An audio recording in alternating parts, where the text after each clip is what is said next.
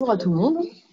Merci beaucoup pour l'accueil. Je remercie euh, et l'ensemble de ces professionnels de, bah, nous accueillir, parce qu'effectivement, on est là dans un contexte. Hein. on a l'Assemblée générale du groupement qui a lieu euh, cet après-midi.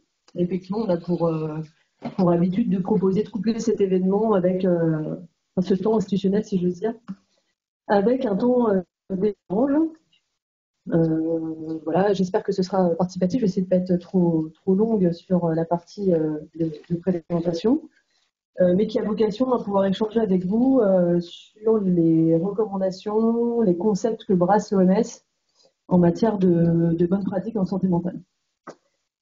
Voilà, je me représente. Du coup, Déborah Sevan, je suis psychiatre, je suis directrice du centre collaborateur de l'OMS pour la recherche et la formation en santé mentale, mais j'en dirai un mot. Euh, je suis également chef de pôle du, pôle de santé mentale Saint-Antoine-G21, qui se situe euh, à Lille et qui couvre six, six communes sur, euh, sur l'île Est. Et voilà, je vais surtout m'exprimer en tant que directrice du centre collaboratif. Alors, forcément, je me trompe. Voilà. Donc, je prends juste cinq minutes pour vous expliquer un petit peu d'où je parle, parce que ça peut. voilà, vous pouvez avoir des questions sur ce qu'est un centre collaborateur, vous demandez aussi euh, à quoi est rattaché son collaborateur et quel est son environnement de travail. Eh bien, on est rattaché à l'hôpital public, donc à l'EPSM Lille Métropole. Et juste pour vous donner une idée, les centres collaborateurs sont euh, des centres sur lesquels s'appuie l'OMS pour déployer sa politique, euh, sa politique de santé. Et donc, en l'occurrence, avec le CMS de Lille, sa politique internationale de santé mentale. Donc, il y a environ, alors c'est pas, il n'y en a pas qu'en santé mentale, hein, il y en a environ 800 dans le monde, un peu moins d'une cinquantaine dans le champ de la santé mentale. Et, historiquement, il y en a un seul qui est basé euh, en France et qui a toujours été basé à Lille. Il a un peu voyagé entre Lille et Paris en moment dans les années 80, mais qui est essentiellement resté euh, à Lille. Et donc, on est désigné par l'OMS tous les quatre ans sur la base d'un programme pluriannuel qui doit suivre l'équivalent d'un fil rouge, même d'une grosse corde, si, j'ose dire, euh, que sont des valeurs socles qui ont été validées par l'ensemble de notre équipe avec qui on travaille et euh, que l'on doit, euh, doit respecter dans le cadre de, des, travaux qui nous engagent euh, vis-à-vis de l'OMS. Donc voilà ces valeurs, je vous les montre parce que c'est un tel travail de validation en équipe, ça, peut vous donner une idée du sens dans lequel on travaille, de la philosophie de l'Organisation mondiale de la santé dans le champ de, dans le champ de la santé mentale. Voilà, je ne les paraphrase pas. Généralement, je peux vous laisser un peu poser vos yeux sur les mots en gras, euh, mais ça dit, euh, beaucoup du travail que l'on mène aussi avec les usagers et les aidants, qui font partie intégrante de notre équipe, et avec qui on a décidé de ces six valeurs-là pour guider l'ensemble des actions, des activités de recherche, des programmes que l'on déploie. Avec des valeurs qui sont assez fortes, hein, l'application de tout le monde, l'affirmation des droits et de la pleine citoyenneté, la lutte contre la stigmatisation et la discrimination, pour laquelle on rappelle à chaque fois que les actions de lutte contre la stigmatisation sont quand même très difficiles à mener. Euh, il y a maintenant les CISM qui s'organisent, dans les semaines d'information santé mentale. Les derniers résultats qu'on a encore sortis de quelques études montrent que euh, le stigma n'a pas bougé d'un iota. Les représentations n'ont pas bougé d'un iota. Donc c'est difficile. En un demi-siècle de déploiement, de, campagne de lutte contre la stigmatisation, les effets euh, délétères du stigma, le rejet social, la discrimination, les conséquences sur l'emploi, le logement, l'habitat, etc. ne bougent pas beaucoup. Donc, euh, c'est quelque chose qu'on répète et qui reste un, nœud absolument, euh, un absolument central aux conséquences catastrophiques. Ensuite, la promotion des services de santé mentale intégrés dans la cité, donc de proximité au plus, plus près du bassin de vie des populations. Et les deux dernières valeurs, la participation effective des personnes euh, des aidants et des proches à l'ensemble des actions qui les concernent. Et donc, en lien avec la sixième valeur, eh bien, la notion de reconnaissance et de valorisation des savoirs expérientiels, qui sont difficiles à définir, mais qui maintenant, euh, voilà, sont un peu plus, quand même un peu plus compréhensibles, euh, qui se définissent comme tous les savoirs issus du vécu et de l'expérience des personnes vivant avec un, vivant avec un, trouble psychique. Donc voilà un peu le cadre dans lequel on travaille. Euh, on travaille avec tout un réseau de partenaires. Ça, c'est pour vous donner aussi des, éléments pour arriver à nous situer, parce que souvent on me pose la question mais est-ce que votre discours est suivi? Est-ce que vous travaillez avec les services de l'État Est-ce que vous avez, eu l'occasion de parler avec le ministère de la Santé etc. Donc en fait, on a un environnement de travail. Il y a l'OMS, on rencontre assez régulièrement le bureau euh, dont on dépend. Il y a également des centres collaborateurs francophones avec lesquels on échange.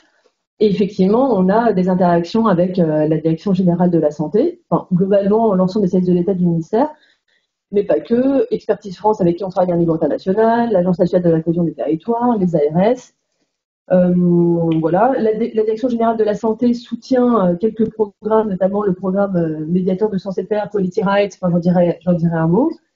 mais on a des financements, je le redirai après parce que c'est important aussi. on est complètement indépendant. Notre parole n'est pas scellée à celle du ministère de la Santé, de là, sinon on ne pourrait pas travailler. Ensuite, on travaille étroitement avec les associations engagées d'élus, c'est très important, à un niveau national et à un niveau international, les associations professionnelles dans le champ de la santé mentale, les fédérations, les sociétés savantes, et puis également les universités, puisqu'on a un certain nombre de, certains membres de l'équipe qui, qui à l'unité euh, INSERM ESSEV de, de Paris-Cité, relatif à l'évaluation de santé des populations vulnérables. Euh, qui est sous la direction de Corinne Alberti et de Karine Chevron. Euh, voilà, et donc, on est cette courroie de transmission entre l'OMS d'une part, qui s'appuie sur le centre collaborateur, qui déploie sa politique internationale de santé mentale, et qui attend du centre collaborateur de travailler les axes de travail qui lui ont été fixés, pour lesquels on a été désigné, et de servir de courroie de transmission avec le national. Et c'est dans ce contexte-là qu'on a créé le groupement de coopération sanitaire, dont votre établissement fait partie, et avec qui on travaille. Donc maintenant, le, groupement euh, voilà, présente une, un peu moins d'une trentaine d'établissements. Et donc avec qui on travaille un peu euh, pour faire des allers-retours systématiques euh, et aussi donc entre national et international, mais aussi pour faire en sorte que s'opère l'équivalent d'un réseau d'échange de pratiques professionnelles sur lequel on compte beaucoup parce qu'on se rend compte qu'à travers ce groupement, il y a énormément d'initiatives qui passent souvent sous les radars et pour lesquelles il n'existe pas de canaux de communication ouverts entre les équipes et entre les sites et les terrains pour pouvoir euh, en échanger. Ça, c'est l'établissement grand, c'est la pandémie. Et il y a encore un ou deux établissements qui sont en cours euh, de demande d'adhésion. Ça commence à devenir un, gros groupement de coopération sanitaire. Donc voilà, c'est un peu ce que je disais de ce qu'on pouvait attendre et aussi euh, ce sur quoi vous pouvez vous appuyer dans le cadre du groupement, à la fois pouvoir profiter de formation, de recherche. L'idée est vraiment d'avoir ce cercle vertueux de la formation, d'accès à l'information aussi sur ce qui se passe en national. Va arriver d'avoir besoin de certains repères pour essayer de guider certains déploiements de dispositifs, savoir si on est plus ou moins en accord avec les recommandations internationales en matière de santé mentale, etc. Voilà, euh, ça c'est l'équipe, parce que euh, voilà, j'aime bien présenter mes camarades et mes collègues, simplement vous dire qu'on est maintenant euh, une vingtaine de TP, une trentaine. Le centre collaborateur a commencé, ils étaient deux dans les années 80 sous la direction du docteur Roland.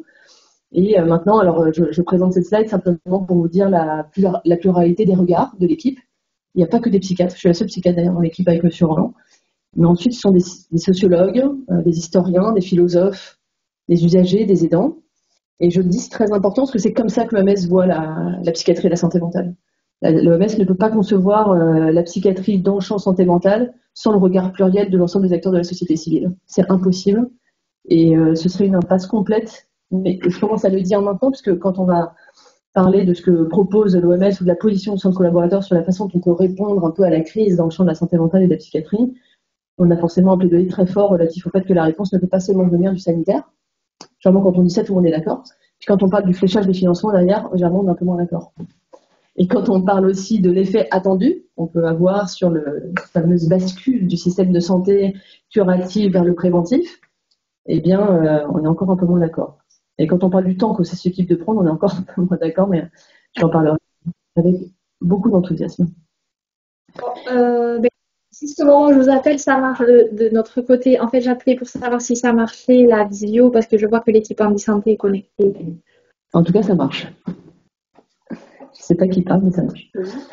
Euh, donc du coup, de quel programme, euh, de quel programme on parle? Pour le centre collaborateur de Lille, on a été désigné sur la période 2022-2026, donc on a mis à mi-mandat de désignation, si j'ose dire, sur ces quatre termes de référence-là.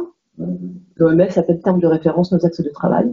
Le premier à gauche, c'est celui qui est historique, le plus ancien, qui est relatif au développement des services de santé mentale intégrés dans la cité. Dans cette thématique-là, c'est très large. Il y a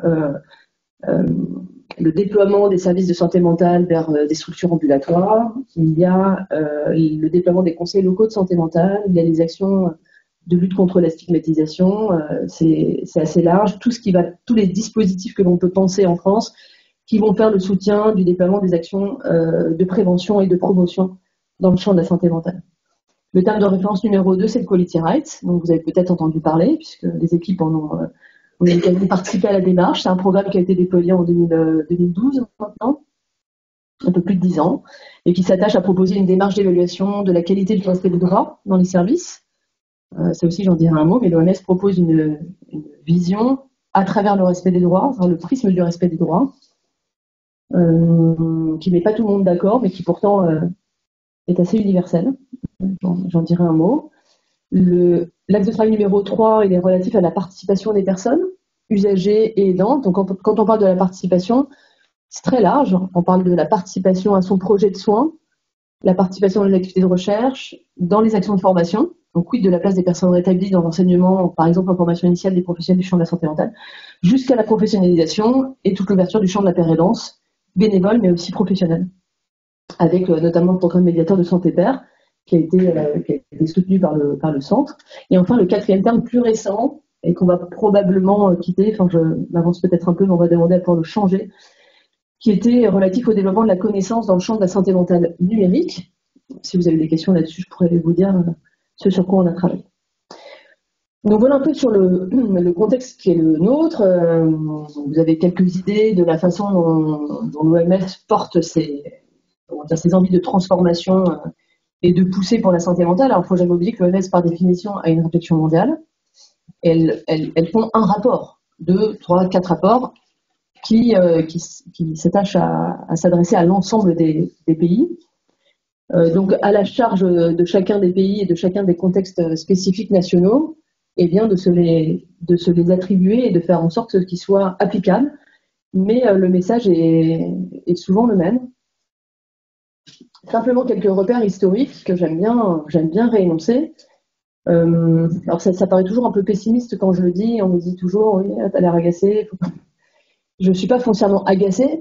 Simplement, ce que j'énonce, c'est que quand on parle de promotion, quand on parle de rétablissement des personnes, d'empowerment, d'autodétermination, d'autogestion, de participation des personnes, de pérédance, il faut faire toute la sémantique et le champ lexical dont on entend parler un peu plus récemment. Ce que j'aime bien rappeler, c'est que tout ça n'a rien d'innovant. C'est un rattrapage de retard. Simplement qu'on arrive à se situer dans cet espace-là, les textes de l'OMS, avec la déclaration d'Amata en 78 et la charte d'Ottawa en 86, Helsinki 2013, Shanghai 2016, donc des années 80 à il y a encore un peu plus de 5 ans, la nécessité d'agir sur les déterminants sociaux de santé et sociaux de santé mentale, la question de la promotion avec la charte d'Ottawa, qui est vraiment le texte qu'on a tous appris pendant notre formation initiale, les autres un peu moins, la question de la participation des personnes comme un élément essentiel de mobilisation des savoirs expérientiels, ça fait depuis un demi-siècle qu'on l'énonce. Hein, que l'OMS énonce. On le redisait la dernière fois, il y a eu un colloque, euh, je ne vais pas parler de l'Assemblée nationale dans ce contexte-là, mais il y a eu un colloque euh, par le député Mournet en marche qui a été tenu il y a deux semaines, où il y avait cet élan incroyable, le député qui portait de manière assez factice par ailleurs des, démarches sur la santé mentale. Bon, bah, vous avez bien obligé de le rappeler. Il y avait cette innovation autour du fait que la participation des personnes, c'est incroyable. Je, je sais très bien, bien sûr, mais gardons en tête qu'il s'agit d'accélérer, non pas parce qu'on euh, a trouvé quelque chose d'incroyable, mais parce que ça fait 50 ans que dans, tous les pays, y compris dans les pays dans lesquels le sanitaire est moins déployé, des pays, il y a un psychiatre, deux psychiatres, ils travaillent avec la communauté, ils travaillent avec la famille, ils travaillent avec l'ensemble des services de santé de premier recours, services de santé primaire, etc. Mais la France est souvent sentie aussi exemptée parce que très sanitarisée, sur un système de santé très curatif, très doté en psychiatres. Paradoxalement, je me ça, ça crispe quand je dis ça, je ne nie pas les difficultés de ressources humaines qui sont les nôtres actuellement. Euh, mais une fois encore, replacer dans le contexte, la France est le pays d'Europe le mieux doté en, en psychiatres. 17 000 psychiatres. Donc, quid de la répartition des compétences, euh, vous voyez Et puis par ailleurs, j'aime bien aussi rappeler, euh, je rentre dans le dur un peu plus tôt que prévu, mais j'aime bien aussi rappeler qu'à la, à la période où la psychiatrie était dotée, était pleine de ressources humaines et ne se posait pas la question de savoir si elle était en péril au niveau des RH, elle ne se questionnait pas sur ces pratiques. Voilà, simplement je pose pour en discuter et je serais ravie de vous entendre réagir, mais il ne faut pas seulement attendre d'être full RH pour avoir envie de, déployer un leadership qui nous permettra de faire avancer les pratiques dans le champ de la santé mentale et de la psychiatrie. Donc je reprends juste quelques éléments. Almata, j'ai mis en gras simplement pour qu'on se dise, voilà, on se dise bien ensemble ce que ça dit. 78, la santé est un droit fondamental de l'être humain. L'accession au niveau de santé le plus élevé possible est un objectif social. Tout être humain a le droit et le devoir de participer individuellement et collectivement à sa santé. On parle de soins universellement, accessibles, rapprochant le plus possible les soins de santé des lieux où vivent et où travaillent les personnes. Donc, quand on parle de services de proximité, près de, l'habitat des personnes, c'était déjà énoncé dans les années 80. La charte d'Ottawa, on la connaît bien. Hein. la santé est perçue comme une ressource et non comme un but dans la vie. Voilà, l'idée c'est de donner, la promotion vise à donner aux individus la maîtrise de leur propre santé et davantage de moyens pour l'améliorer, ce qu'on appelle aujourd'hui autodétermination, capacité d'autogestion. Voilà, ça je passe un peu. Et ensuite, pour vous dire aussi que l'OMS a écrit des plans. C'est comme ça qu'elle fonctionne. Elle écrit des stratégies et des plans, alors qui sont plus ou moins digestes, je vous l'accorde, mais si vous voulez aller regarder un peu, il y en a quelques-uns qui ont été traduits dans des versions un peu plus courtes mais euh, qui faisait voilà déjà état d'objectifs à atteindre. je passe un peu vite parce que c'est ce que j'ai déjà dit, puis j'en reparlerai après. Hein, mes services de proximité, l'accessibilité des lieux de soins 24-24, 7 sur 7, offre des services résidentiels, c'est tout ce que vous pouvez nommer, appartements thérapeutiques, accueils familiaux, à l'époque où ça se, faisait encore de manière plus, euh, voilà, plus facile. La promotion, la prévention, l'information, la santé primaire, ça dit quelque chose de notre de la nécessité d'interagir avec le réseau de, médecine euh, euh, libérale d'une part, et de médecine générale. Qu'est-ce qu'on fait de cette interaction? Il y a plein de dispositifs hein, qui, existent pour penser ça.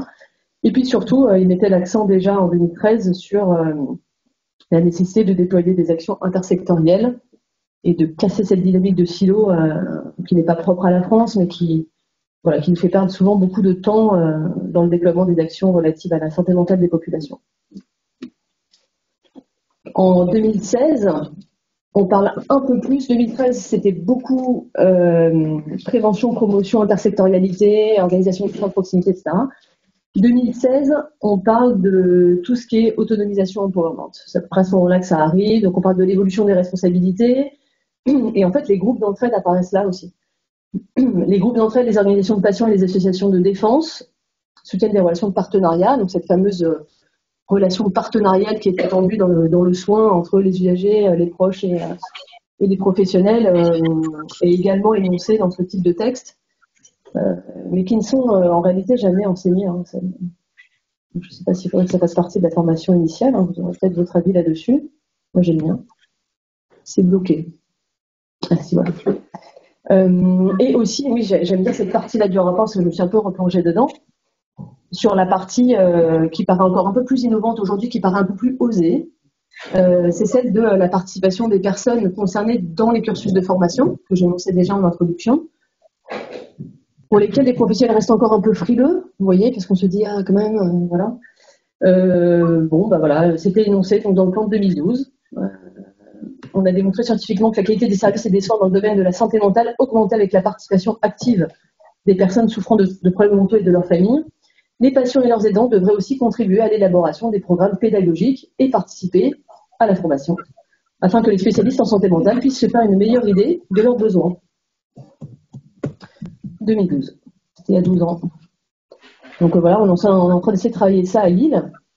Euh, il y a vraiment, euh, il, y a, il, y a, encore cette frilosité sur la façon dont ça peut se faire. Alors après, je suis d'accord que comme on n'a pas réfléchi le sujet, eh bien, se posent beaucoup de questions relatives aux modalités pratiques de la mise en place. La question de la rémunération, la question de, qui le fait, la question de comment on choisit les personnes qui peuvent le faire, comment on les forme, à quoi on les forme, quelles compétences on mobilise, comment on accadre la prise de parole, etc. etc. comment on navigue de témoignages à euh, relations partenariales dans l'enseignement, posture pédagogique, etc., etc.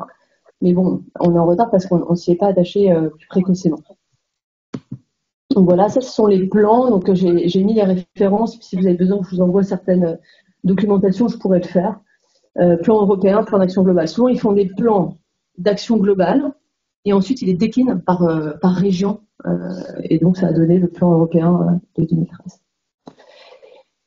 Et donc voilà, la dernière stratégie, elle date de, c'était sur la période 2013-2020. ils ont barré 2020, puisqu'ils ont passé 2020, ils n'ont pas atteint tous leurs objectifs, donc ils ont dit on pousse jusqu'à 2030. Donc 2013-2030. Et ils ont identifié quatre objectifs principaux. Le premier, c'est le leadership et la gouvernance, plus efficace en matière de santé mentale. ça aussi, on peut en parler. Je ne sais pas quelle, la façon dont vous déclinez ça dans vos représentations professionnelles. Le deuxième objectif euh, majeur, c'est le développement de services de santé mentale et de soins euh, de sociaux complets et intégrés dans les environnements communautaires. Le troisième, mise en œuvre de stratégies de promotion et de prévention. Et enfin, les renforcements des systèmes d'information et de base factuelle et de la recherche, pour lesquels on pourrait dire que la France s'est un peu améliorée là-dessus, mais on continue quand même d'avoir des, bases d'information médicales qui sont parfois très erronées, pour lesquelles les remontées d'informations restent encore très fragiles à beaucoup d'endroits. Bon, la question de la promotion et de la prévention, ils le remettent parce qu'ils redisent à quel point c'est majeur. Euh, les services intégrés dans la cité aussi. Euh, l'articulation entre les services médico-sociaux et sanitaires aussi. La question du partenariat. Et la question du leadership est arrivée plus récemment dans les, dans les plans.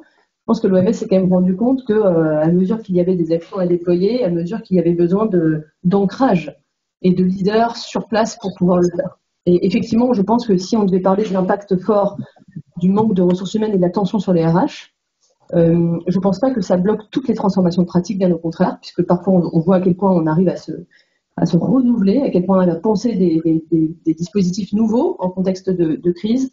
Mais là où je, je pense qu'il y a un impact majeur, c'est la question du leadership. Parce qu'à mesure qu'on est moins nombreux, la force dédiée à, un portage institutionnel qui s'inscrit dans la durée est un peu plus compliquée. Si un leadership projette un, travail qui tient un an, deux ans, voilà, on sait que, l'effet escompté n'aura pas lieu. Et, euh, et là-dessus, c'est un vrai problème. Donc la question du leadership est majeure. Mais qui dit leadership dit se former au leadership, à la prise de fonction institutionnelle. Euh, j'étais euh, jusqu'en décembre dernier présidente de la JPGA, qui est l'association des jeunes psychiatres et des jeunes addictologues. On avait mené une grande enquête avec l'association des, étudiants en médecine de France, donc la NEF et la FEP, l'association des internes on avait questionné un peu nos, collègues sur euh, les prises de fonction, ce qui alors c'est une grande enquête sur l'attractivité, hein, quels sont les facteurs associés au départ du public à 10 ans, post-internat et à 10 ans. Il y a des résultats très intéressants qui montrent que euh, la, comment dire, une, une, perte de compétences euh, sèche au moment où les, jeunes professionnels prennent leur poste. Ils sont formés à une activité pédagogique, mais ils n'en font pas. Ils sont formés à la recherche, mais ils n'en font pas. Ils doivent faire de la recherche, mais ils ne sont pas formés. Ils doivent prendre des responsabilités institutionnelles, mais ils n'y sont pas formés. Ils sont formés à la prise de responsabilités institutionnelles, mais ils n'en font pas. Ah oui, il y, a un chassé-croisé comme ça de, fonctions qui met euh, en péril vraiment la, projection des jeunes professionnels dans leur environnement de travail et notamment dans le service public et pour lequel il est absolument nécessaire de. Voilà, et donc c'est ce que je vous disais un peu tout à l'heure, le terme du siècle, action euh, majoritaire, enfin priorité sur protection, promotion, autonomisation, approche multisectorielle. Alors ça paraît très trivial, hein, mais euh, ça pose quand même des vraies questions de... de ça va, chouchou? Je fais le bisou à ma mounette. C'est. Oui. C'est la vie, quoi. J'aime bien. Euh, donc oui, ça c'est une vraie question. Euh, après, je pousserai un peu avec vous le, concept de santé mentale publique. Ça vous parle, public mental S Non, porté par les anglo-saxons? Ouais. On connaît pas bien ça, la France connaît pas bien ça. Moi, je pense que c'est euh, quelque chose qu'il faut que l'on porte maintenant pour essayer d'avoir une pensée structurante autour du développement de la, psychiatrie et de la santé mentale en France. Là, je vous remets juste sous les yeux la pyramide OMS pour les soins en santé mentale, qui est euh, une pyramide euh, qui vient un peu illustrer la façon dont l'OMS pense qu'on devrait déployer les soins. Ça a été créé avec la WOCA, qui est l'Association mondiale des médecins de famille, et qui nous explique qu'en réalité, en bas de la pyramide, vous avez le self-care, donc tout ce qui est santé communautaire, euh, les réseaux d'entraide, les soins d'autosupport, qui devraient être la base la plus large d'un système de santé, pas système de soins, hein, système de santé, et qui en réalité sont ceux qui coûtent le moins cher. Et à mesure que vous montez dans la pyramide, à mesure qu'il s'agit de, dispositifs qui coûtent plus cher, mais qui devraient être moins nombreux. Donc tout en haut de la pyramide, ce sont euh, bah, les, euh, les, lits quoi. Et puis même au-delà, la pointe, c'est euh, les lits ultra spécialisés, UHSA, UMD. Donc, service de psychiatrie l'étage général et service de santé mentale communautaire à l'étage 3, service de santé primaire pour la santé mentale, soins informels et, et self-care. Et souvent, ce que nous dit l'OMS, c'est qu'en France, on a une pyramide sur la tête, sur la pointe. Donc en fait, on a en réalité une porte d'entrée dans les soins par l'hôpital, comme si on, nous, on avait élargi les dispositifs très coûteux, ceux qui devraient être de l'ordre du dernier recours. L'OMS nous dit les soins hospitaliers, ce sont des soins de dernier recours. Mais c'est hyper fort comme phrase. Ça veut dire, euh, ça veut dire je tente tout avant l'hôpital. Donc je tente les groupes d'entraide mutuelle, les partenariats dans la ville, euh, les actions de promotion, de prévention, j'augmente le niveau d'information des populations, j'augmente leur littératie en santé mentale, j'augmente la visibilité des dispositifs de soins, je déploie les soins de santé euh, dans la communauté, je forme la médecine générale. Ensuite, si vraiment il y a besoin d'un soin spécialisé en psychiatrie, je tente euh, un accès en ambulatoire, mais tout de suite, pas six mois, un an d'attente, donc tout de suite. Si l'ambulatoire ne, ne marche pas, je tente l'ambulatoire intensif une fois semaine, deux fois semaine, trois fois semaine. Si l'ambulatoire intensif ne marche pas, je tente l'équipe mobile. Si l'équipe mobile ne, marche pas, je tente l'équipe mobile de soins intensifs et d'urgence dans la cité. je suis capable de me déplacer, d'arriver là. Si vraiment ça ne tient pas, alors il y a besoin d'un soin hospitalier. En France, on n'est pas du tout là-dedans. C'est pour ça que l'OMS nous dit que vous avez, qu'on marche sur la pointe. Donc en fait, en France, on a déployé un système qui pourtant est un système dévoyé de la politique de secteur de 60, parce que la politique de secteur de 60 prévoyait vraiment le portage des actions de prévention, de promotion jusqu'aux soins. Euh, et, vu que cette bascule ambulatoire n'a pas été assumée sur le plan politique, à un moment où on a basculé, on dit ah, attendez, on va quand même garder un peu d'hospitalier et on va garder d'ambulatoire, on a resté bloqué entre les deux. L'investissement financier n'a pas été fait jusqu'au bout. Et donc on est dans cet entre-deux où on a un modèle hybride où tout s'est embolisé en réalité. Alors après, il ne faut pas décorréler ça des, problématiques actuelles que l'on a sur l'évolution de l'hôpital public. Tout ne repose pas sur euh, la psychiatrie, hein, je ne dis pas le contraire. Mais le fait est, que notre, culture quand même du soin euh, en psychiatrie, en santé mentale, c'est un rendez-vous en CNP ou alors quelqu'un qui ne va vraiment pas bien, qui nécessite des soins hospitaliers, il arrive à l'hôpital, et ensuite on déploie l'ambulatoire. Ce qui est vraiment à l'inverse de ce que l'OMS nous demande de faire. Donc voilà pour les repères. Ensuite, simplement vous dire que sur la période 2020-2030, je ne sais pas si vous connaissez cette iconographie qui a pas mal circulé. Les ODD, c'est les objectifs de développement durable. Alors, 17 objectifs que l'ONU euh, déploie pour dire, bah voilà, les objectifs de bonne santé des populations dans le monde, c'est ça. Donc, euh, éradication de la pauvreté, la lutte contre la faim, l'accès à la santé, l'accès à une éducation de qualité, l'égalité entre les sexes, l'accès à l'eau, etc., Vous allez dire, c'est pas bah oui et non. Parce qu'en réalité, euh, ils ont mis pour la première fois dans l'objectif de développement durable numéro 3, le vert là, accès à la santé, ils ont mis un point sur la santé mentale spécifique. Alors, ils ont fait un focus sur promotion, santé mentale, et ils ont fait aussi un focus en réalité sur le, sur le suicide.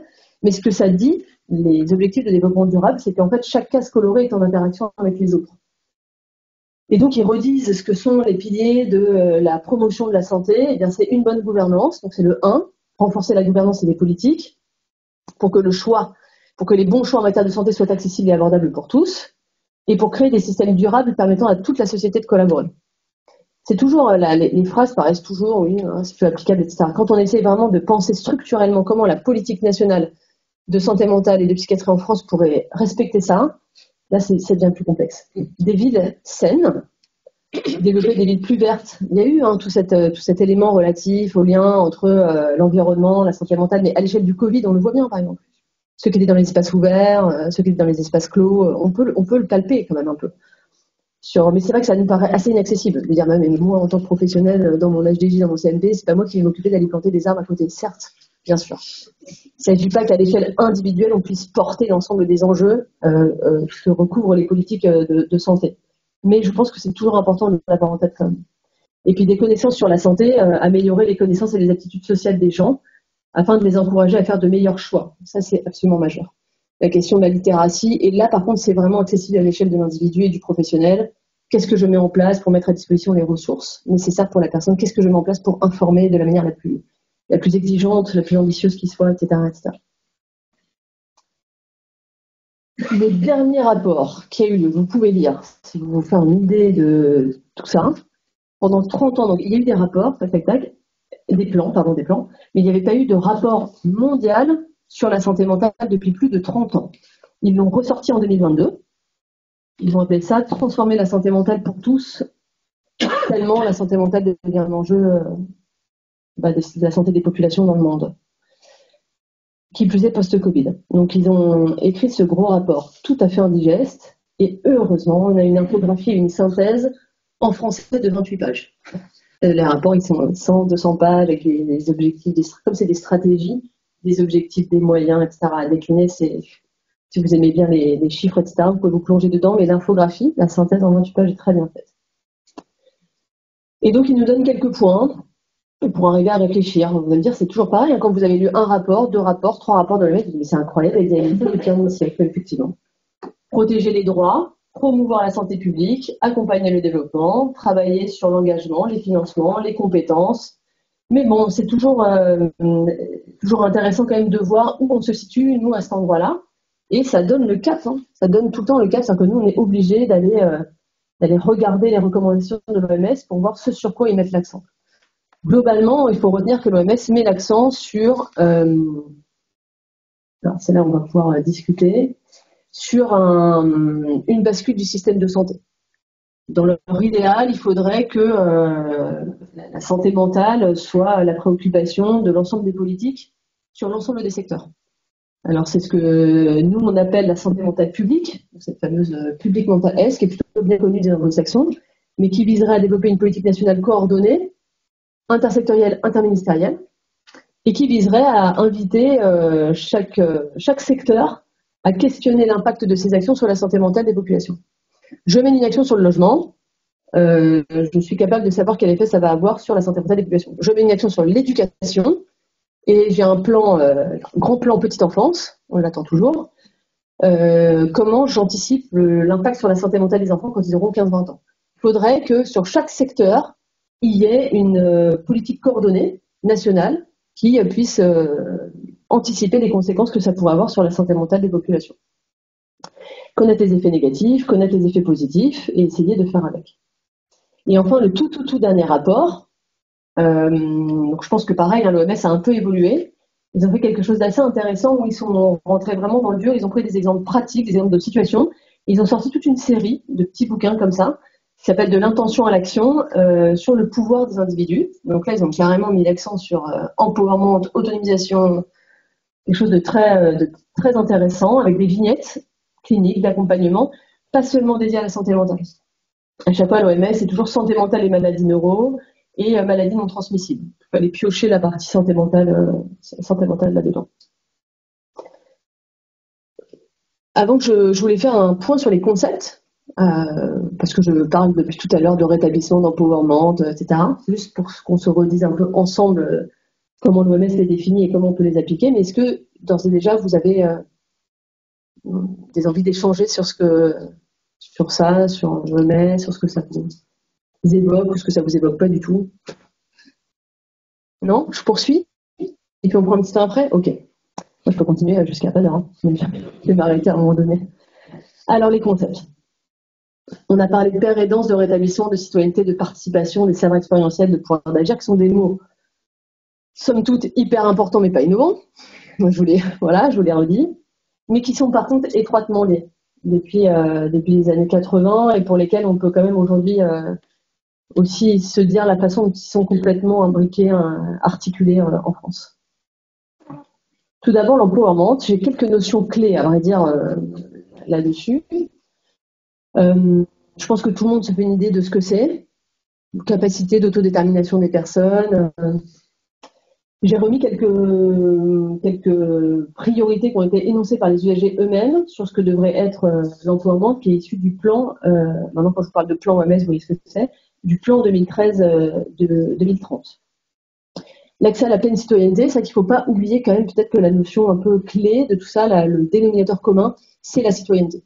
Ce que vise, alors on, a plein de courants théoriques d'obédience, d'appartenance de chapelle en France, il y a eu des courants différents. L'endroit où se situe l'OMS, c'est euh, la psychiatrie humaniste, la psychiatrie citoyenne.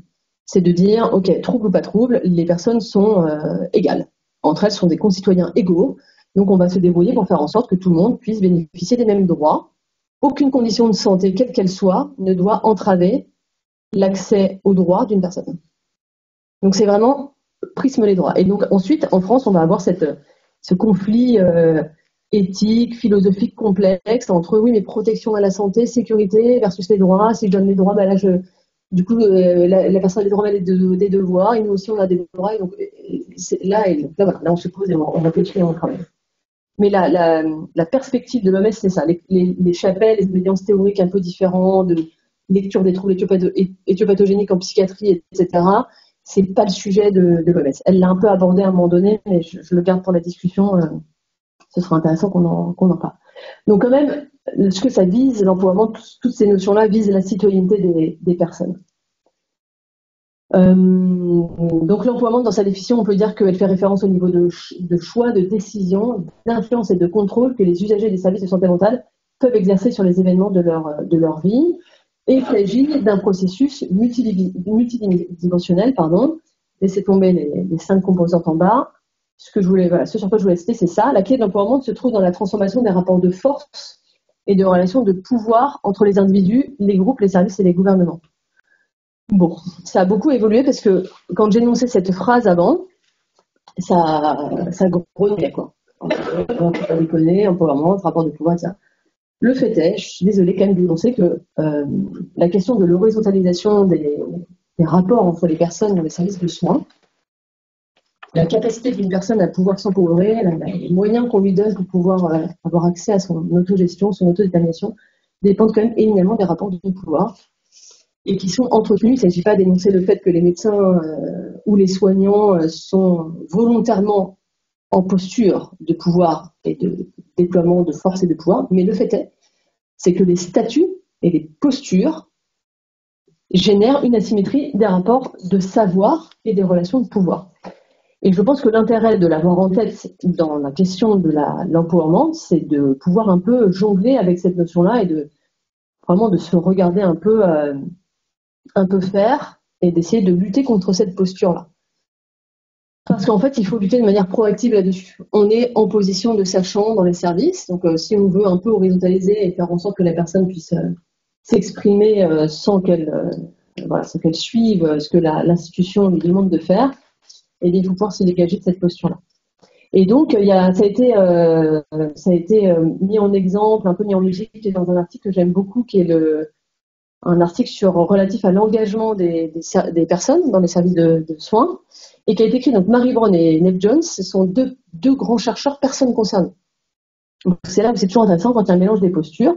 Et dans cet article-là, euh, il cite une écrivaine euh, qui, vient du Niger et qui ils reprennent sa phrase comme ça. Et je vais vous la lire parce que moi j'aime bien. Elle, raconte le fait que euh, parler à la place d'eux, prendre la parole à la place d'eux, raconter une histoire unique, ce que la psychiatrie a beaucoup fait en pendant longtemps, euh, les schizophrènes, je prends l'exemple de l'étiquette diagnostique, mais voyez, parler à la place d'eux sans prendre en, compte, sans laisser la place à la personne empourée de s'exprimer, c'est catastrophique.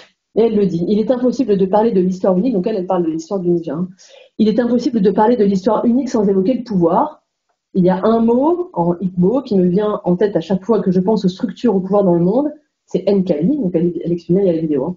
C'est un substantif qui se traduit à peu près en être plus grand qu'un autre. Tout comme nos univers économiques et politiques, les histoires aussi sont définies par le principe de Nkali. Comment elles sont narrées, qui les raconte, le moment où elles sont racontées, combien on en raconte, tout cela dépend vraiment du pouvoir. Je suis assez d'accord avec ça. Et quand j'ai lu l'article de, John C. Brown, à l'évidence, à un moment donné, la posture de pouvoir a empêché la prise de parole des personnes concernées. Je pense que ça nous a fait perdre beaucoup de temps parce qu'on était convaincus d'aller au service d'eux, mais le fait c'est que ne pas donner la parole à la multiplicité des histoires des personnes qui les vivent, entretenus dans une relation de pouvoir très asymétrique, bah, nous a fait perdre du temps sur la participation des personnes, sur l'identification des besoins, sur le fait de déployer des services qui répondent aux besoins, etc. etc. Donc c'est très bien illustré dans cet article de 2021 que je vous engage à lire, c'est tout à fait passionnant. Et donc ce que ça dit euh, en filigrane, parce que là, c'est, je crois que c'est le tableau de Farkas ou c'est peut-être celui d'après. Il y a une psychologue de Boston, Marianne Farkas, qui a travaillé sur ce que ça veut dire. Qu'est-ce que ça, veut dire quand on, fait en sorte de déployer des pratiques qui viennent soutenir la, capacité d'empowerment des personnes? Ben, Ça veut dire un peu ça. Ça veut dire qu'il y a des changements dans le soin Donc on passe des asiles aux soins dans la communauté, on passe des hôpitaux aux soins mobiles et aux groupes de soutien, on passe du paternalisme à la notion de partenariat, du traitement à la notion de rétablissement, de la contrainte à la notion de coopération, et on peut décliner ça à chaque fois. Orientation biomédicale versus biopsychosociale, le contrôle social de la psychiatrie versus l'autodétermination, être donneur de soins versus être promoteur de santé, passer du patient fou à l'usager citoyen, de l'usager objet de soins à sujet de droit, de soins orientés sur les déficits qui en fait s'appuient sur les possibilités de la personne, et les proches aidants, la famille qui étaient exclus des soins, qui doivent devenir les partenaires du soin. Donc ça se décline, et c'est pour ça que l'action de la posture, elle est importante. En fait, si je prends soin de l'emploi des personnes, qu'est-ce que je fais à l'échelle individuelle, dans ma structure, dans mon service, dans mon pôle, peu importe, avec les personnes qui veulent bien travailler, avec moi dans ce sens-là, et comment je le décline. Donc il y a, euh, on a quelques repères comme ça pour arriver à décliner euh, à l'échelle du quotidien professionnel ce que l'on peut, peut faire. Concernant le rétablissement, l'heure qui passe et je ne veux pas vous affaisser dans vos chaises dès le matin. Simplement, on est obligé de se. Le rétablissement, c'est hyper important, je suis obligée d'en dire deux mots, pour pas que le mot soit trop dévoyé. Parce qu'il a déjà été dévoyé, le mot rétablissement. Pourquoi? Parce qu'il a été aspiré par les professionnels. Dès que les psychiatres prennent un truc, ils. Parfois, c'est déformé. Pas oublier que le rétablissement, c'est mouvement américain de défense des droits civiques en 70, et la naissance du mouvement des survivants de la psychiatrie, initialement arrivé par le mouvement des alcooliques anonymes, qui disait, mais en fait, ce que vous nous proposez, ça ne nous va pas. Voilà. Initialement, c'est ça. Et par ailleurs, quand vous nous proposez des trucs, vous venez quand même rogner nos droits très très fort, et globalement, c'est pas possible. Donc, on va, vous dire que ça va pas se passer comme ça. Euh, nous, on a des droits, qu'on soit malade ou pas, et on va faire en sorte de pouvoir décrire nos expériences, décrire nos parcours, affirmer notre identité au-delà des contraintes diagnostiques. Donc, c'est ce fameux euh, jamais rien sans nous, je ne suis pas qu'une étiquette de Patricia Degan, etc. Donc, ça a généré euh, le mouvement des survivants de la psychiatrie. Ça vous parle, ça, les survivants euh, Ouais. Eh bien, il y a 5, 5, 5 ans, 7 ans, quand on parlait des survivants de la psychiatrie, moi, on me disait que j'étais antipsychiatre. Hein. Le nombre de fois, on m'a dit, ah, ça suffit, le sommet, l'idéologie, le dogme, l'antipsychiatrie. Bon, ça a quand même beaucoup évolué parce que euh, aujourd'hui, on peut parler du mouvement de reconnaissance des droits des personnes. En plus, c'est factuel, je cite le, mouvement américain de survivants de psychiatrie sans être taxé d'antipsychiatre, c'est un non-sens. C'est des points de Godwin, on ferme le débat, euh, ça n'a aucun sens. Et le rétablissement, c'est pas ça. Et heureusement, ça a bougé. Aujourd'hui, on peut parler de rétablissement sans, sans être euh, anti-psychiatrie. Le fait est, c'est que la psychiatrie a déployé des pratiques qui ont été dénoncées pendant des années par l'OMS, qui ont été dénoncées pendant des années par les personnes qui recevaient les soins. Pour dire, mais en fait, ça convient pas, pas trop. Ça m'aide pas à trouver un logement, ça m'aide pas à être moins stigmatisé, euh, ça m'aide à certains endroits, bien sûr, mais pas, que. Et globalement, ça se passe beaucoup sous la contrainte et sans mes droits, et c'est trop compliqué, quoi. Donc, euh, comme à chaque fois qu'un moment se lance, ben, il, se, lance d'abord, il passe par le militantisme, et puis après, il, retombe dans le droit commun. Donc, ça a été la demande de réappropriation du pouvoir des personnes, et donc ça a été cet appel au principe d'autodétermination. C'est pour ça que l'empowerment est éminemment lié à la question du rétablissement, donc recovery euh, en anglais. Et j'ai repris la slide de Marie Koenig qui m'a autorisé à le faire pour dire qu'il faut pas oublier que c'est un processus politique, expérientiel et scientifique. Pas seulement euh, l'idée de se dire bah, les gens, oui, ils peuvent se rétablir, c'est beaucoup plus, quand on regarde les racines du mot, c'est beaucoup plus fort que ça. Sur son aspect politique, c'est le mouvement de prise de parole et de défense des droits. Ça, c'est l'histoire. Sur le processus expérientiel, c'est parce que les gens ont commencé à écrire sur l'aspect positif de leur parcours. Ce n'est pas que négatif tout ça. J'ai un trouble et je ne suis pas euh, que dans la difficulté. Et je peux bien vivre à tel et tel et tel endroit et le processus scientifique, parce que bien évidemment, la question du pronostic a commencé à être remise en cause pour dire, bah, en fait, on va commencer à suivre les gens et vous allez voir que tout le monde n'est pas incurable. Donc c'est un triple, concept pour lesquels maintenant euh, vous avez euh, full euh, livres, ressources, apprendre le rétablissement. Il y a eu le MOOC, se rétablir. Je vous recommande aussi la BD de Lisa Mandel, se rétablir, qui est absolument génial. Donc simplement pour que le rétablissement, si on ne veut pas le, le, dévoyer, il faut faire attention à ce que la psychiatrie ne se l'approprie pas. On ne peut pas dire, euh, la, psychiatrie ne pourra jamais dire, un professionnel, enfin moi en tant que psychiatre, je ne pourrais jamais dire, on l'a quand même euh, super bien rétabli. C'est faux. Le rétablissement est un processus individuel de la personne, donc on peut s'acharner éventuellement à, développer des pratiques professionnelles qui viendront en soutien du rétablissement des personnes mais le, rétablissement, c'est le, parcours de vie euh, de quelqu'un. À la psychiatrie, à la charge de la psychiatrie de, euh, de proposer des soins qui permettent de, comment dire, à la personne de, se rétablir. Et donc, la, définition qu'on donne tout le temps pour le rétablissement, qui est un, un bon résumé de tout ça, c'est celle d'Anthony, 93, qui dit Le rétablissement est un processus foncièrement personnel et unique qui vise à changer ses attitudes, ses valeurs, ses sentiments, ses objectifs, ses aptitudes et ses rôles. C'est un moyen de vivre une vie satisfaisante, remplie d'espoir et productive malgré les limites résultant de la maladie. Le rétablissement va de pair avec la découverte d'un nouveau sens et d'un nouveau but à sa vie, à mesure qu'on réussit à surmonter les effets catastrophiques des troubles psychiques. Donc c'est vraiment euh, cette sinusoïdale euh, pour lequel la, psychiatrie doit se porter en soutien. Simplement dans les ressources, je ne vais pas les lire, mais Patricia Digan est euh, une psychologue américaine pour laquelle vous trouvez aussi ses vidéos a un témoignage génial, tout à fait intéressant. Elle explique qu'à l'âge de 17 ans, elle a reçu 8, 9, 10, 15 diagnostics. C'est elle hein, qui a déployé le fait que les personnes qui recevaient un diagnostic ne pouvaient pas être réduites à leur étiquette diagnostic et qu'elle était avant tout une personne. Euh, ça, j'ai eu l'occasion d'en reparler avec, euh, avec les collègues euh, hier. Dans le cadre du cancer, cette sémantique, les schizophrènes, les borderline, les bipolaires, les personnes donc demandent à ne, qui vivent avec ces troubles demandent à ne plus être nommées comme ça, pour ne pas être fusionnés avec leur étiquette, pour ne pas réduire l'individu qu'ils sont, les individus qu'ils sont à cette étiquette-là. Ça a assez bien marché avec le cancer, euh, ça a assez bien marché avec l'autisme. Ce serait un peu difficile de dire aujourd'hui euh, l'autiste, euh, le cancéreux, elle a un cancer. Elle, elle, vit avec un cancer, il ou elle vit avec un il ou elle vit avec une schizophrénie, il ou elle vit avec un trouble neurodéveloppemental et vit avec un autisme. Donc bon, en fait, les représentations, elles, évoluent. Je pense qu'elles sont loin d'être abouties parce que le stigma est très fort encore sur la question des troubles psychiques. Laurence Martin aussi qui a pris la parole. Et donc, ce que ça dit tout ça sur, euh, donc on a vu quels étaient les champs d'application possibles pour les, postures professionnelles côté empowerment. Il se passe la même chose côté rétablissement. Ce qu'on nous enseigne beaucoup, c'est ce qui est en bleu. Ce qu'on nous enseigne moins, c'est ce qui est en vert. Donc en vert, c'est tout ce qui est savoir expérientiel. Donc euh, le rétablissement de l'espoir, le, rétablissement de l'identité, des liens sociaux, de l'autonomie, du pouvoir d'agir, et euh, le rétablissement des effets de l'étiquetage. Qu'est-ce qu'on fait des effets de la stigmatisation? Est-ce que moi je sais que côté psychiatre, on n'est jamais formé. Et pourtant, on avait fait une étude auprès des internes de Lille qui montrait à quel point en fait ils étaient hyper intéressés pour être formés à la, lutte contre la stigmatisation, mais souvent ils savent pas trop comment faire. Quand une personne arrive pour dire, bah, vous savez, moi, sur mon lieu de travail, il s'est passé ça, ça, ça et ça, vous verrez ça avec, c'est pas travailler. Donc l'accompagnement de la psychiatrie sur la question du rétablissement et des représentations personnelles, de la mise en exergue des savoirs expérientiels est quand même est quand même plus difficile.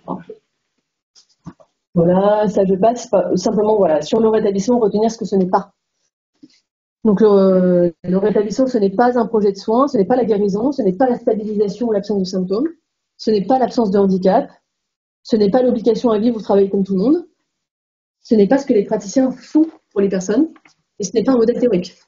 Parce que ça, c'est pareil. vu que le rétablissement, les pratiques en rétablissement, les postures professionnelles engagées par les pratiques en rétablissement ne sont pas euh, enseignées en formation initiale, ça a été initialement perçu un peu moins maintenant. En cinq ans, ça a bougé. Mais initialement, ça a été perçu quand on parlait de recovery comme un, courant parallèle, un nouveau dogme.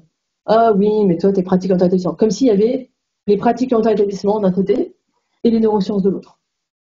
Euh, j'ai du mal à comprendre. Je pense qu'on peut avoir une pratique euh, euh, je sais pas, chercheur en génétique et en immunogénétique, comme certains de mes potes le sont par ailleurs, et continue de viser le rétablissement. Pour moi, le rétablissement, les pratiques en rétablissement, c'est un contenant. C'est les rails sur lesquels on pose les trains. Quoi.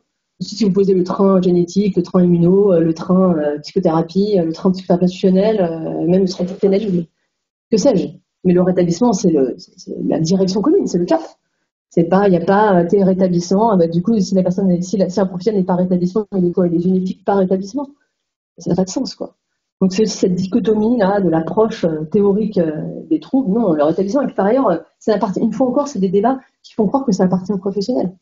Le rétablissement, c'est indéniable. C'est le processus de rétablissement personnel d'un individu. Ça n'a rien à voir avec les querelles de chapelle des psychiatres. Voilà, oui, c'est la, donc la slide de Farkas, elle est là. Donc pareil, quand on parle de, bah, ça change quoi En pratique, du coup, les pratiques en établissement, une posture de professionnels orientés euh, dans un service qui a des pratiques orientées sur le rétablissement, et bien on passe du pouvoir sur la personne au réveil, du pouvoir de la personne. Si on passe de soins orientés vers le contrôle, vers des soins orientés vers le choix, euh, des pratiques basées sur euh, le risque et la peur qui basculent sur euh, les espoirs et les souhaits. Une demande, je crois, pendant beaucoup d'années, quand il y a eu beaucoup d'institutions, on en croise encore beaucoup avec la démarche Quality Rights, d'institutions qui demandent beaucoup à l'individu de s'adapter.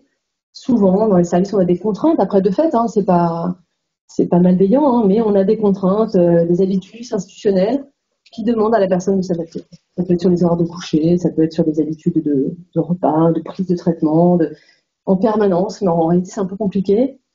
Euh, dans les soins et services centrés sur le rétablissement, le professionnel s'adapte. Il faudrait que l'institution euh, ce, ce, modèle de telle sorte qu'elle arrive à s'adapter aux besoins des personnes.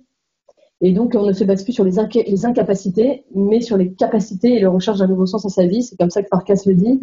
En pratique, ça rejoint pas mal ce que les principes de la réhabilitation psychosociale aussi, qui est un outil hein, dans les pratiques en établissement, qui consiste à dire qu'on va regarder ce que la personne sait faire, quel que soit l'état dans lequel elle se trouve, et pas ce qu'elle ne sait pas faire. Euh, S'il y a un projet euh, de, on en parlait hier, on était en formation avec euh, les collègues de l'SDJ de Villeneuve, si la personne a un projet, euh, je sais pas moi, de travail, d'activité professionnelle, même si elle vous paraît en l'état peu accessible, vu l'état de santé de la personne, si on se base sur les capacités et l'espoir, on y va. On accompagne, on gère le risque, on prend le risque ensemble. On n'est pas dans une édiction du risque, on prend le risque ensemble, on chute ensemble on se remet ensemble. Donc ça, ça paraît trivial à dire, mais c'est des, des, organisations de services et de soins qui, qui font un, un 180 au niveau des pratiques. Quoi. Ça, ça, veut dire qu'on évite la contrainte, ça veut dire que je ne vois pas la personne comme quelqu'un qui est euh, pas en possession de ses moyens, qui ne peut pas réfléchir, pour lequel je vais rapidement dégainer des soins hospitaliers, une contrainte, etc. Ça, ça, ça change foncièrement. Un accompagnement vers le soin par le projet de vie. Et ça, c'est les pratiques en traduction très très abouties, très exigeantes et qui sont très perturbantes euh, pour les professionnels. Et voilà ce que ça dit des postures ah mince. Je vais bien parce que la slide d'avant, je l'aime bien. C'est une slide que j'ai prise de Pauline Bassalo, qui est médiatrice de Santé Père. C'est ça slide, quand elle fait cours sur le rétablissement en tant que personne concernée. Donc voilà la posture. Laisser la personne décider, une vision horizontale d'égal à égal, entre citoyens égaux. Ça ne veut pas dire qu'il n'y a pas de sachants dans cette histoire.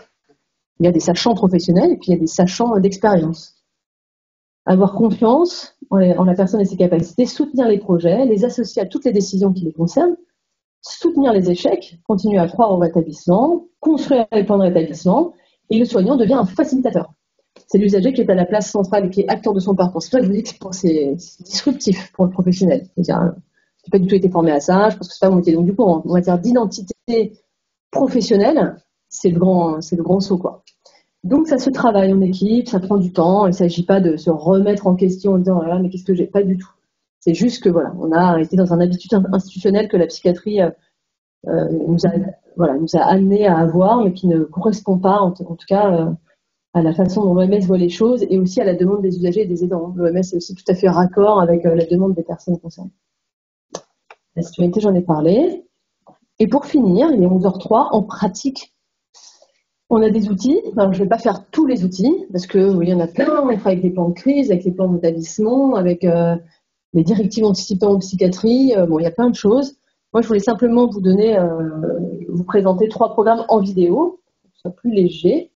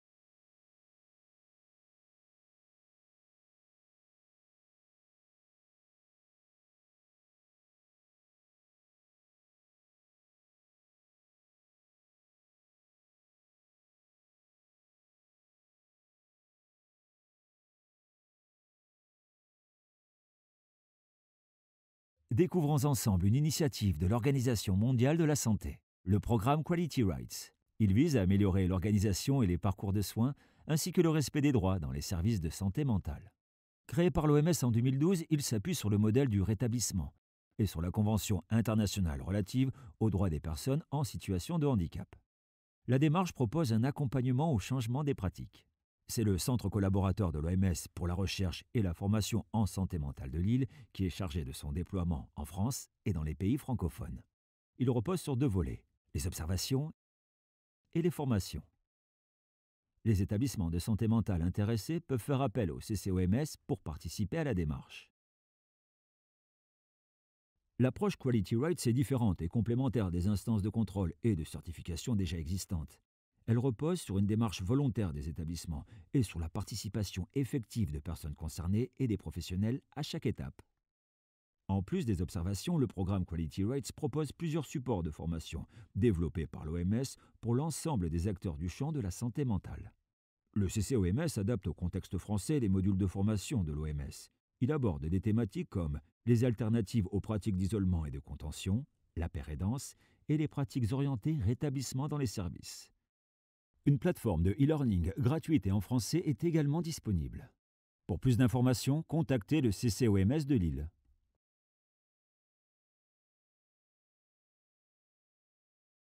Donc ça, c'est tous les pays en vert qui ont ratifié. Euh, vous voyez, donc il y a beaucoup de pays dans le monde qui l'ont fait.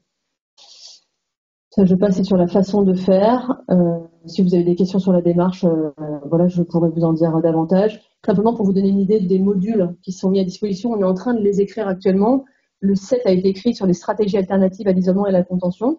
il y en a 14 des modules pour lesquels le CISOMS doit fournir une ingénierie pédagogique pour pouvoir mettre à disposition de l'ensemble des équipes euh, en France ensuite.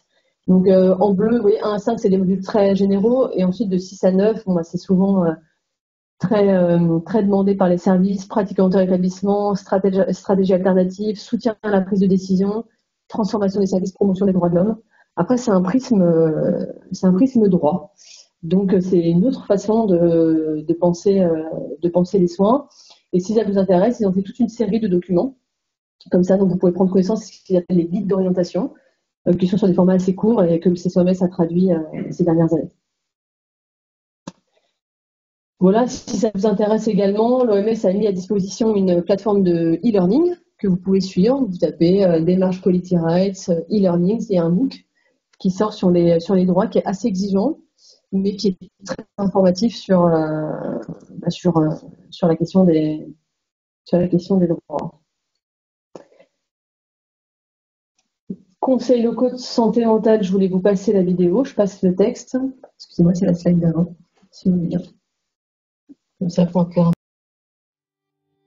un conseil local de santé mentale est un espace de concertation et de coordination autour de la santé mentale d'un territoire. C'est une démarche de santé publique souple et horizontale. Les élus du territoire, la psychiatrie publique, les usagers et aidants, ainsi que tous les autres acteurs ou citoyens se sentant concernés sont invités à participer. Notre santé est en grande partie déterminée par notre environnement. Il convient donc de rassembler et coordonner correctement les acteurs de tout champ à l'échelle locale pour une amélioration concrète de la santé mentale dans la vie quotidienne de la population. Les problèmes de santé mentale ne sont pas toujours visibles et concernent plus de personnes que nous pouvons l'imaginer. Une personne sur trois présente au moins un trouble psychique. 85% d'entre eux n'auront pas recours à la psychiatrie. L'objectif du CLSM est donc de favoriser le bien-être mental où que nous soyons, en portant une attention toute particulière aux quartiers politiques de la ville et notamment à l'accès aux soins, à l'inclusion sociale ou encore aux déterminants essentiels de santé. Un CLSM doit naître d'une volonté commune d'élus locaux, de psychiatres, d'usagers et d'aidants qui, à travers cette démarche politique, cherchent à créer un espace de concertation. Ces pôles de décision sont importants pour aborder de manière égale chaque thématique et répondre justement aux besoins de santé mentale. Un CLSM fonctionne en trois niveaux. Le comité de pilotage définit les priorités et propose la création de groupes de travail. Ces groupes de travail thématiques se réunissent ensuite pour mener des actions. Enfin, l'assemblée plénière, qui se réunit en moyenne une fois par an, propose un espace d'échange. Chaque année, de nombreux CLSM continuent de se créer en France. Des centaines d'actions se déroulent grâce au CLSM. Pour les découvrir, rendez-vous sur le site du Centre national de ressources et d'appui au CLSM. Donc là encore, euh, pour avoir parlé un peu avec les équipes, euh, j'ai eu vent des CLSM qui fonctionnent sur votre, sur votre territoire, euh, qui fonctionnent bien. Il y a tout un enjeu politique actuellement hein, sur le financement des conseils locaux de santé mentale, le financement des cordeaux de CLSM. Donc là, il y a une activité assez chargée du côté du, du CCMS qui vise notamment à écrire un cahier des charges national. Donc, c'était copiloté avec la Direction générale de la santé pour donner un. Alors, ce ne sera pas un cahier des charges opposable, hein, probablement, mais qui sera quand même livré aux ARS euh, bah, pour qu'elles soient guidées dans euh, la façon dont elles déploient les financements qui leur sont, euh, qui leur sont dédiés. Parce qu'il y a des hétérogénéités de pratiques absolument majeures. il y a tout cet enjeu de est-ce qu'on fait un conseil local de santé mentale? Ou est-ce qu'on dédie un travail relatif à la santé mentale dans les CLS nous, on est convaincus qu'un contrat n'est pas un conseil. Euh, le CLS n'a pas vocation à créer un espèce de démocratie sanitaire et à mettre autour de la table des personnes qui se parleront de situations en dur. C'est ça qui se passe hein, dans un CLSM, le psychiatre euh, ou le soignant, le représentant de la psychiatrie publique va parler à l'élu, euh, une situation un peu complexe, il y a des partenariats bailleurs qui se font, il y a des actions qui se déploient dans la ville. Le CLS ne fera jamais ça. Non seulement il ne le fera jamais, et puis en plus, c'est à lui qui a à charge la santé mentale. Je suis convaincue que la santé mentale passera en dessous de la, pile. Euh, donc voilà pour les CLSM. Et enfin, je voulais quand même vous passer la vidéo. j'ai mis des slides, enfin, on fera circuler le, support. Euh, j'ai mis quand même des slides de présentation si jamais vous en avez besoin sur euh, qu'est-ce qu'un conseil local, le copil. Et ce que je voulais quand même vous dire aussi, c'est qu'il est, vrai qu'il y a un autre enjeu qui est quand même assez majeur, c'est la, la, place de la psychiatrie publique dans les conseils locaux de santé mentale. Il y a beaucoup de CLSM qui nous disent que bon, ça dépend des élus, mais quand les élus sont motivés, ben, ils sont là. Mais par contre, la présence de la psychiatrie publique parfois pose un peu, euh, pose un peu sujet. Et il est vrai qu'à mesure que les RH euh, se tendent, euh, en ce moment, on a des réflexions sur en fait, est-ce que est-ce qu'il faut vraiment que ce soit le chef de pôle ou le médecin qui représente la psychiatrie dans les CLSM C'est pas évident. Il faut qu'il y ait une impulsion du chef de pôle, sinon la psychiatrie suivra pas. Après, moi, je suis convaincue que tout acteur, euh, de l'équipe peut représenter la psychiatrie publique dans un CLSM. Oui, le genre d'enjeu que l'on a, euh, je vous ai mis quelques chiffres là-dessus. Et là, c'était simplement pour faire un petit écho à euh, l'ensemble des principes que je vous ai donnés sur la politique de l'OMS. Globalement, les CLSM y répondent à, beaucoup d'endroits, Sur l'action intersectorielle, sur la prévention, la promotion, la participation citoyenne, et puis surtout cette prise en compte des déterminants sociaux de santé. C'est que je ne l'ai pas redit, mais je vous rappelle que le poids des déterminants socio-économiques de santé à l'échelle d'un individu, c'est 50% dans l'émergence des troubles. Hein. 50 à 60% dans l'émergence des troubles. Tout l'enjeu, il est là. C'est de savoir si est-ce qu'on continue de financer très très fort le curatif, dont on peut avoir besoin en contexte de crise et de tension RH, parce qu'on voit qu'on ne peut plus répondre à la demande, ou est-ce qu'on a une vision plus long-termiste, de dire en fait on va, il va y avoir de la casse. je suis convaincue qu'il y aura de la casse dans tous les cas. Mais en fait, il faut qu'on investisse maintenant sur les actions de promotion et de prévention qui auront un impact dans 10-15 ans, comme ça s'est vu avec certaines euh, publications en santé publique où ils ont bien montré que les interventions dans la petite enfance, euh, entre 0 et 5 ans faisait que ces bébés étaient euh, moins malades entre 15 et 20 ans. Mais, mais, vous voyez, sur un mandat, ça tient pas. De dire j'investis sur quelque chose qui, quand j'aurai, quand je ne serai plus au pouvoir et quand je, dans 15 ans, les populations près de qui j'aurai agi. Vous voyez, donc on a toujours des dynamiques de calendrier politique qui correspondent absolument pas aux enjeux de la santé, quoi. Mais voilà, le CLSM répond à beaucoup d'endroits et là c'était juste pour vous donner le petit repère par rapport à la pyramide. Bah, nous, on a bien montré que le CLSN peut intervenir à tous les niveaux. Parce que aussi bien pour l'information à la base, pour le développement des, de l'autosupport, pour le travail avec les jeunes, pour le travail avec les élus, le travail dans la communauté, mais on intervient aussi avec les cellules de cas complexes, avec la psychiatrie publique. Donc c'est un très bon outil, très transversal de la de l'organisation euh, de l'organisation des soins et de la et de la santé. Donc voilà, là vous avez toutes les ressources. Et enfin pour la médiateur santé père, pour lequel je vous propose aussi une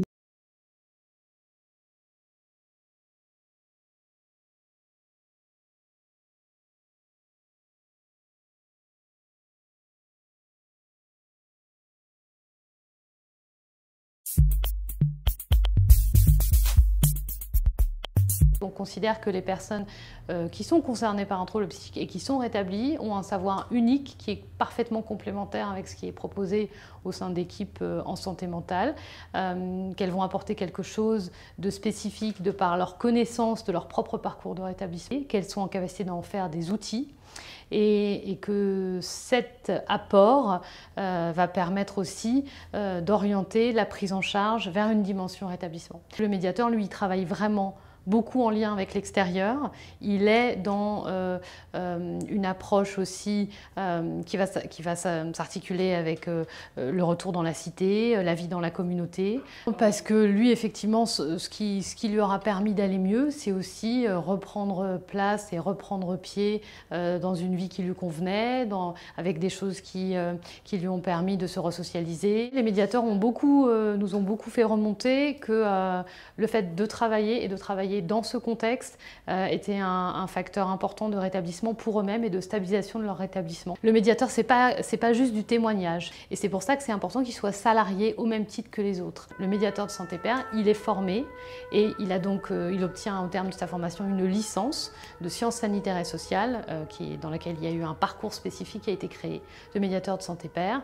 La licence lui permet d'avoir un vaste éventail de connaissances au même titre que les autres professionnels. Nous, le centre collaborateur de l'OMS, on a monté euh, ce programme et on a toujours travaillé avec une université qui assure toute la partie pédagogie, construction des savoirs, euh, réflexion aussi euh, sur bah, la, constitution du diplôme et des contenus de formation. Il y a eu 30 médiateurs qui ont été formés en 2012 et là, en 2018, 35 autres médiateurs sont en train de terminer leur licence.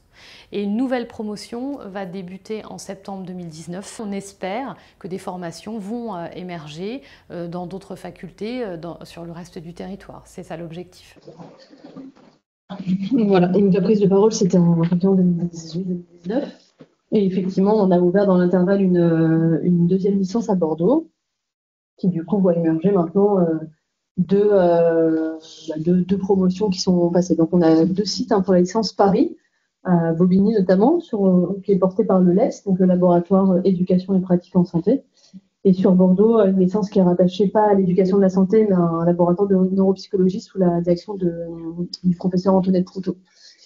Donc euh, voilà deux sites pour lesquels bah, les, médiateurs de santé père continuent de se former. Donc là, l'enjeu, je vous le dis, l'enjeu actuel, c'est la reconnaissance du métier et la reconnaissance du statut parce qu'à mesure que, alors c'est pareil, là on constate euh, une hétérogénéité des pratiques entre les établissements, une volonté des DRH très très différente d'un établissement à un autre, et à mesure que le statut n'est pas fixé, et bien à mesure que l'on que l'on perd euh, les personnes de, pouvoir se projeter dans cette activité-là professionnelle, parce que c'est globalement mal rémunéré et euh, encore trop peu trop peu reconnu. Donc ça, on espère que ça va pouvoir bouger. On sait que les politiques sont vraiment assez peu enclines là à, pouvoir déployer euh, des nouveaux métiers, mais on espère qu'en se raccrochant à un portefeuille euh, métier, ça puisse, ça puisse se faire. Mais c'est l'enjeu actuel, c'est la reconnaissance de la carrière professionnelle et je répondrai à toutes vos questions là-dessus. Du coup, en guise de conclusion, euh, convaincu qu'une psychiatrie en crise est une psychiatrie en mouvement, je suis en réalité, malgré la lecture de l'histoire, du temps, duquel l'OMS répète ces, messages clés, assez convaincu euh, d'un contexte porteur d'espoir et de la nécessité en tout cas de porter l'espoir, la conviction et un certain leadership pour arriver à faire aboutir l'ensemble de ces concepts-là. Peut-être qu'il faut penser, je me dis, euh, là on est en crise, mais il faut penser à la refonte. Donc euh, en fait, la construction du moule dans lequel on va refondre la psychiatrie après sa crise, on va forcément sortir de la crise à un moment donné, quelle que soit la, façon dont on en sort, eh bien il faudra quand même avoir refondé. Parce que si on attend euh, d'être en posture de refondation pour le faire, on va reprendre, euh, on va reprendre du ans de retard. Donc voilà, qui dit crise dit mouvement, avec des ingrédients euh, relatifs à des formations sur la posture professionnelle, à l'innovation organisationnelle, qui n'est pas empêchée par le contexte de crise, parce qu'en réalité, la créativité des services et des soins pour arriver à, avancer là-dedans eh ben, est tout à fait majeure. Et donc, je le disais un peu ensemble, parce que je voyais vos en tête, je suis convaincue que la formation est un élément absolument majeur là-dedans. C'est ma dernière slide, je vous assure. Les, pistes et les objectifs, moi je pense qu'il faut garder en tête quelques, quelques messages un peu clés. Le fait que la santé mentale est un fait social total. on pourrait ne pas être d'accord, mais la notion d'approche syndémique de la santé, son articulation entre les, déterminants socio-économiques et l'aspect sanitaire, à mon avis, est absolument majeur. Imaginez que la psychiatrie est un outil dans une toolbox, enfin une boîte à outils pour les personnes. Donc en fait, la psychiatrie, ça devrait être un ingrédient parmi tant d'autres on a tendance à se penser comme une réponse majeure aux yeux des gens. En réalité, c'est pas le cas. Donc, il faut quand même qu'on arrive à se penser dans un environnement, euh, un grain de riz de la même taille que les autres riz du sachet, j'ai envie de dire. On va pas la psychiatrie et le reste. Je pense qu'on a un objectif commun, mais qu'on a des modalités de transformation tout à fait multiples. Pour faire le tour un peu de l'ensemble des terrains, euh, même si le cap euh, est le même, eh on se rend compte qu'il y a autant de modalités que de territoires. Donc ça, c'est aussi compliqué. Il n'y a pas de modèle unique. Là, on est en train d'essayer de penser la réorganisation du secteur. Je suis, euh, je suis convaincue que la réécriture du niveau 1, du niveau 2 sur un, territoire rural, semi-rural, semi-urbain, urbain ne sera pas définie de la même manière. Je crois beaucoup aux échanges de pratiques professionnelles comme on le fait au sein du groupement. Il y a des échanges qui se font de professionnel à professionnel sur euh, comment tu t'es pris, comment ça a coûté, euh, comment les transformations se sont faites. Je pense que c'est des cas de communication qui doivent continuer d'être ouverts. Et enfin, on met l'accent euh, sur la priorité majeure donnée à l'information, la formation et l'incitation. C'est que la question de l'attractivité auprès des plus jeunes est un sujet majeur, quels que soient les corps de, métier. Et on est à peu près convaincu qu'avec une meilleure information et une meilleure formation initiale, on arrivera probablement à être meilleur en, termes d'attractivité. Et enfin, j'ai remis le concept de santé mentale publique qu'on va probablement euh, déployer. Il y a la tenue du, j'en profite pour le dire, du congrès euh, de la SFSP, donc de la Société française de santé publique, qui aura lieu à Lille en novembre 2025. C'est la première fois qu'un congrès de santé publique met en thème principal la santé mentale. Donc c'est un signal très fort pour dire la santé mentale doit être considérée sous l'angle de la santé publique on est co-organisateur de ce congrès avec la SFSP et on y défendra très fort. On invitera toutes les communications internationales et nationales à euh, illustrer le concept de santé mentale publique et euh, la façon dont on pourrait le déployer euh, en France.